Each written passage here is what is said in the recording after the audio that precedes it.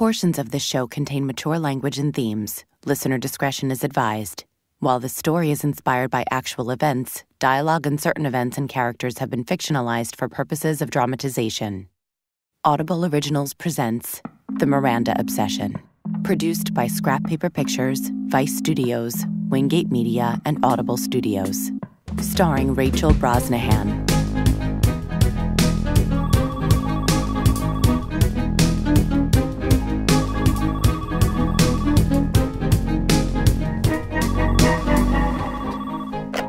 Hello? Is this Buck Henry? Who's this? I'm looking for Mr. Henry. Well, whether or not you find him depends on who you are. From a reply so forbidding, I think I just found him. My name is Miranda. I'm a fan of yours. Is this some kind of prank call? That's surprisingly self deprecating, Mr. Henry, to hear the word fan and think prank. Uh, did did Richard put you up to this? Let me start over. I got your number from a mutual acquaintance. Who? Who? You're not even letting me get to the part where I fawn over you and tell you how much your movies mean to me. Do you really want to deny yourself the gratification? Which movies? The Graduate is one of the Oh, funniest. Yeah, yeah, everybody says that. If they say it, it's probably Everybody loves the goddamn graduate. and Catch 22 and Heaven Can Wait and I just loved First Family. Uh, n- Nobody loves First Family. I did. Yeah, what did you love about it? I thought it was funny. Knock knock jokes are funny. Bugs Bunny's funny. And I thought it had something to say about the absurdity at the heart of American politics. You chose an absurd frame to expose that absurdity, which is something not everyone understands. Critics hated it. you know what they said? Hmm? Any episode of MASH, Taxi, or The Muppet Show has more laughs and pathos per minute than this impeachable farce. The Muppet Show, maybe. You can't beat The Muppet Show. I'll take or leave the rest. Uh, okay, uh, wait. Who are you exactly? Miranda. Miranda.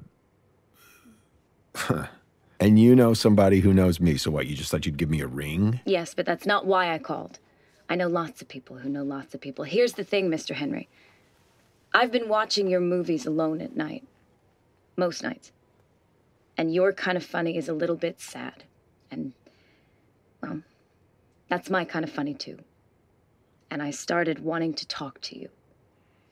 Sometimes you get the feeling that you know somebody else's secrets and they know yours, and then you just want to reach out across the night and say hello. You know, it's kind of late. Of course. I'll let you go. No, no, wait, wait, uh, uh, wait a second. I wasn't saying that you should go. I just.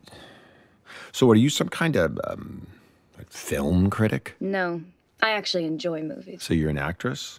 Absolutely not. You're a young woman who got my number, and you're not an actress. You couldn't pay me. I don't intend to.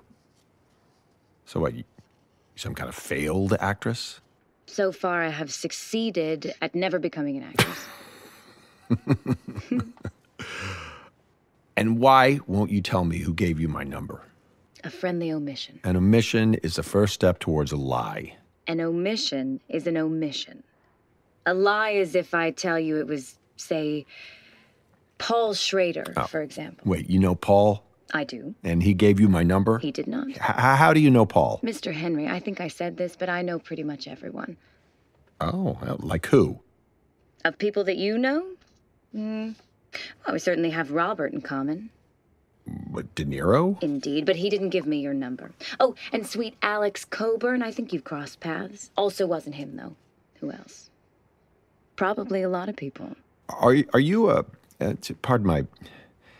But are you an escort? Did you come to that conclusion from the mention of Paul or Robert? Oh, so you are an escort. I am not, sir, an escort. I do a little modeling here and there. You're a model. Oh, you hate actors, but you're a model. Models don't talk. We just stand very still and listen very closely. Does Paul see escorts? If you know him, you should know. Uh, he's a complicated man. Increasingly these days. Coke can be a complicated hobby. Yeah, well, he's turned it from a hobby into an Olympic sport. But it sounds like you know that. So, uh, Miranda, this person who gave you my number, Are we still back there? are they a model? Mr. Henry, you're having a late night chat with a beautiful woman. You can't see me, I know. You'll just have to take my word for it. And you want to play Clue. It was the butler in the pantry with the Rolodex. What do you look like? Was this the face that launched a thousand ships and burnt the topless towers of Ilium? I'm so, you're quoting me Helen of Troy? Dr. Faustus, actually. Christopher Marlowe, but you're right to identify the character. But you're a model who reads Christopher Marlowe and you want to talk to me about my movies? Wha- What is the catch? What catch? What, do you want money? You know something bad about me, and, and if I pay up, you'll. If you think I'm trying to hurt you in some way, just hang up right now.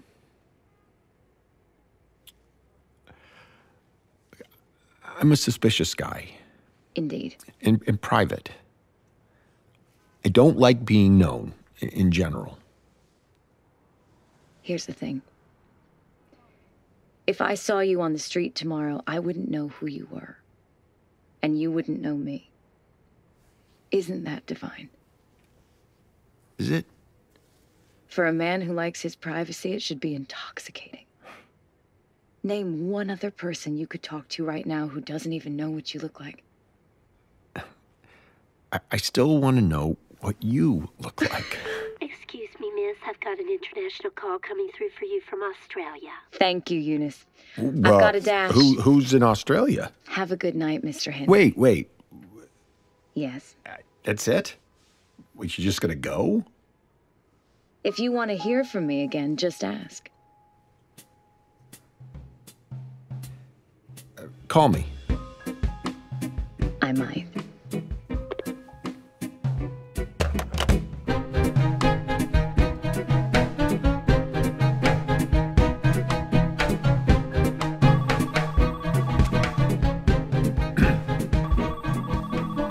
Hello?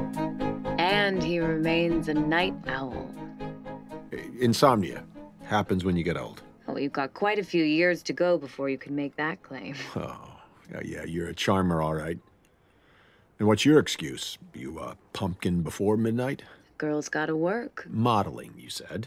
Modeling, I said. Stand still and smile, no? Yes, darling, but you've got to do it in a whole bunch of different places. First for the camera, then at a dinner meeting, a party, on a red carpet. Hard to imagine you with your mouth shut, at least, yeah, so far. Have you been working on imagining me since we last spoke? Let's just say you, you got a hold on my imagination. So, where are you? New Orleans. Whoa, what are you doing there? I have a place. It's good for downtime when I'm between gigs. Quiet scene. And who was in Australia? Australia. Yeah, last week. Oh, Mel Gibson. Sweet kid. You know him? That kid from Mad Max? He wanted my advice. Uh, what kind of advice?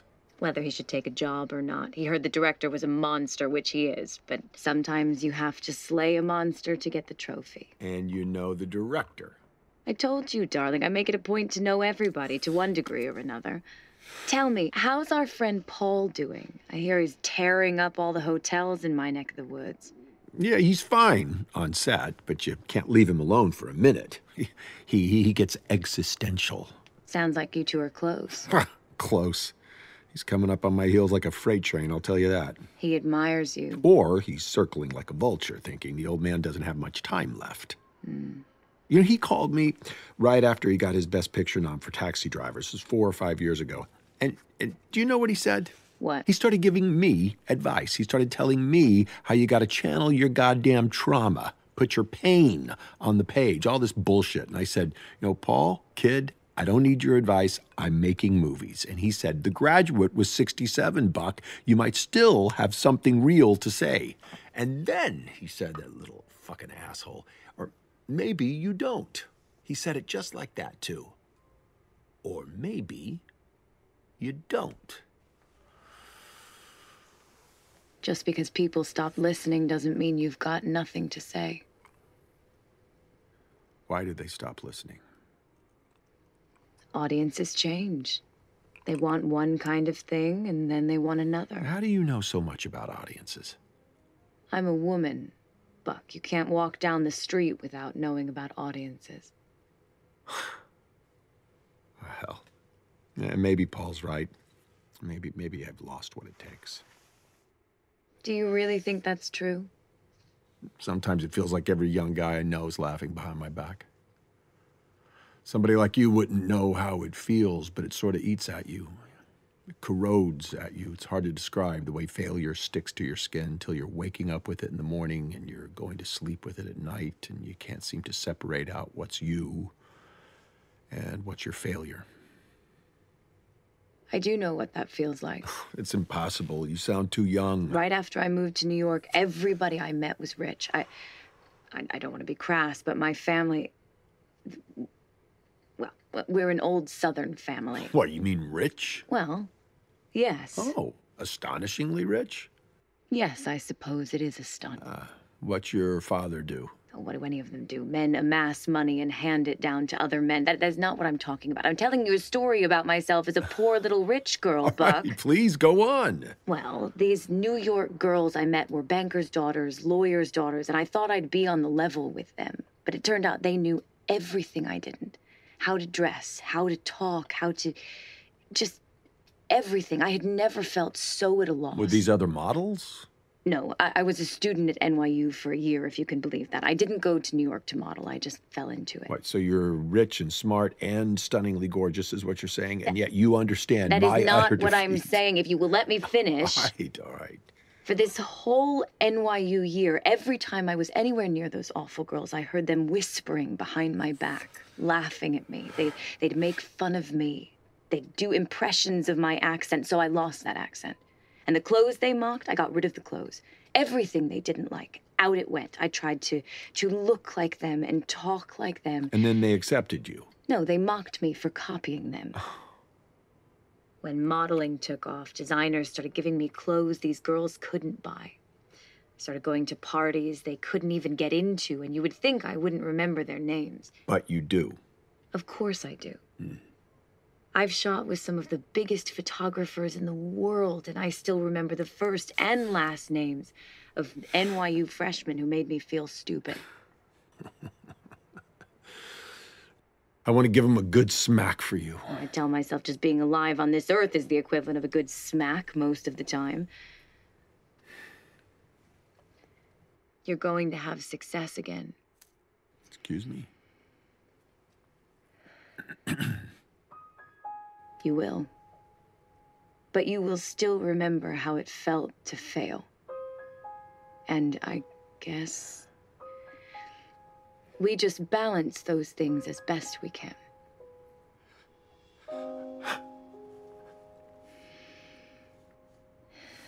To Forgive me for asking you this, but but why don't you have a boyfriend?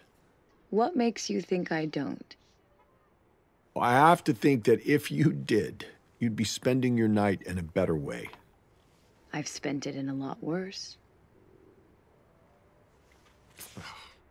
Miranda, a model, you like my movies. Is that the screenwriter in you? Lining up all my facts on your index cards? I wish I had a few more. Huh. I wish I knew what you looked like. Oh, it is so much more interesting when you can't see a girl, Buck. Then you just have to listen to her. Just give, give me a shoot you did. Vogue, Vanity Fair, You don't take no for an answer, do you? rarely. I'll tell you what. On Monday, you can meet a friend of mine. On Monday, I'm busy. Monday, I've got an interview, as a matter of fact. Tell your friend. you won't have to do a thing. You won't be able to miss him. I don't get Ask it. him about me. But wait a Good minute, I- night, Buck. Goodbye, I guess. Model. Wealthy family, NYU, New Orleans.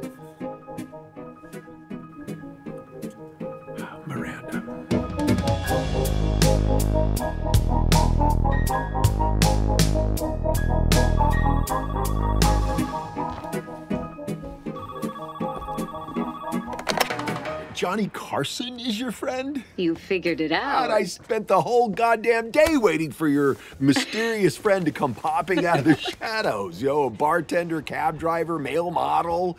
Oh, and I was sitting across from Johnny Carson doing the interview, and I thought, Wait a minute, she said I won't be able to miss him, and I thought, oh no, god damn it. the camera cut to the commercial. I said, Johnny, let me ask you something. Do you know this girl, Miranda? And he got this big smile on his face. And he said, You were the funniest girl he ever met, a total riot. How'd your interview go? God. Well, something tells me you already know. A smashing success from all accounts. Johnny Carson? I mean, you really do know everybody. I told you. Ah, Wait, Isn't this kind of early for you? It's not even 9 p.m. Oh, I've got something tonight. Oh, a date. Look, I want to meet you. Oh. Well, Johnny has met you. what did he say? He said you were a laugh a minute. He always had fun with you. That's all? Well, the commercial break ended, and that was that. So, can we meet? Dinner, drinks, it'll be fun. You like talking to me, I like talking to you. Next time I'm in New York, I will look you up. When is that going to be? I have a few jobs out of the country coming up. It's, it's, just a little hectic right now, but as soon as I You get don't. back. You don't want to meet. Of course I do. Don't be silly. You're married. Now you're really being silly. You're engaged. For your information, I'm neither. You're worried about being seen with me. Okay, that's ridiculous. Stop stop Yeah, it right now. Yeah, beautiful young woman, a has-been older man. I'm going to hang up if you don't stop being absurd. I want to see you. And next time I come by New York, which shouldn't be terribly long, you can take me somewhere thrilling for a drink and dinner. so you're really going to meet me? Dinner. You can tell me where. You tell me when. Okay. Well, I have a quick trip to Paris, and then a fitting in Rome, and then a shoot in Rome, and then I should be back here uh, the next month, let's say, month or two. Oh, or two, huh? Uh, One ages out of my profession very quickly. You take all the work you can. Yeah, which magazine did you say you were shooting for in Rome? Buck, darling, I've got a No, dash. no, okay, I was just but digging. you be good me- until we chat again. No, hang okay? on, hang on, Miranda. I can take a Th- hint. There is a car here. For I won't. I won't ask you any more questions. Oh, I, I thought. Look, I push things sometimes too far. You do, but I was telling you the truth.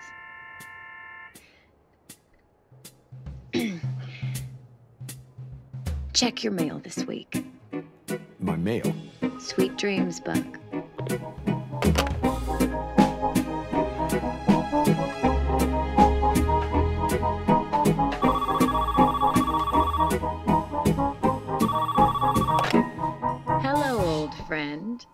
Was wondering when I'd hear from you again. It's been a busy week. Ten days. But who's counting? Hmm.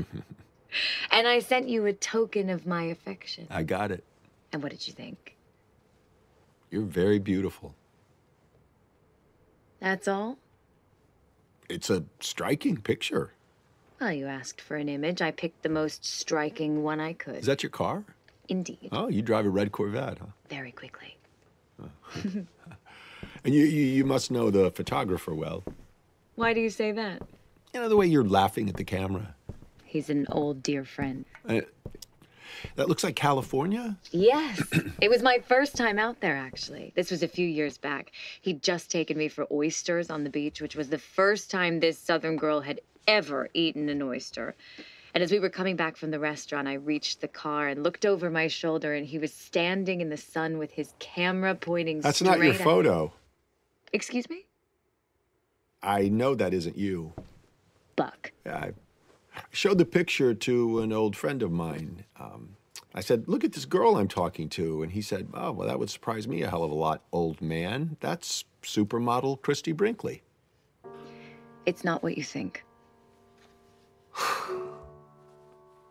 Then what is it? You asked me for a picture. I sent you the best one I could find. That's it? Darling, I asked for a picture of you, and I sent you a picture that I liked. of someone else. What does it matter what I look like? We know each other in ways that are Were, more than were you laughing at me the whole time? Buck. No. Were you just is this some joke? This whole thing? This this this whole time you were just playing How a could trick? you think that? I thought we'd gotten to some real We fucking have. I, the things I have said to you. You misunderstand entirely. no, I don't think I do. I don't think I do. Uh, uh, Look, Buck, don't take all of this so seriously. If you've seen one beautiful woman, you've seen them all. I, I don't look much different from Christie Brinkley if you, you, squint. you do think this is funny. I spill my guts out to you, this sad old man, and I've never once thought that about you.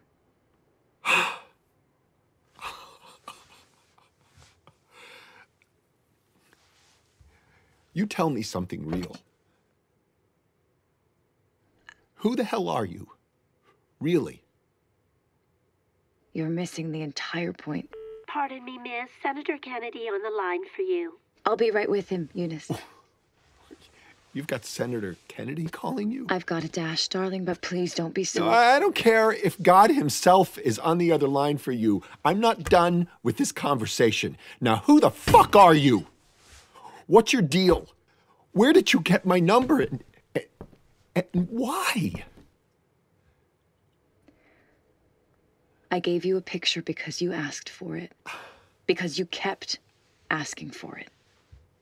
You said you didn't take no for an answer, so I gave you a sort of yes. But perhaps in the future you should learn how to take no. You might be happier. God, you listen here. I'm gonna fuck.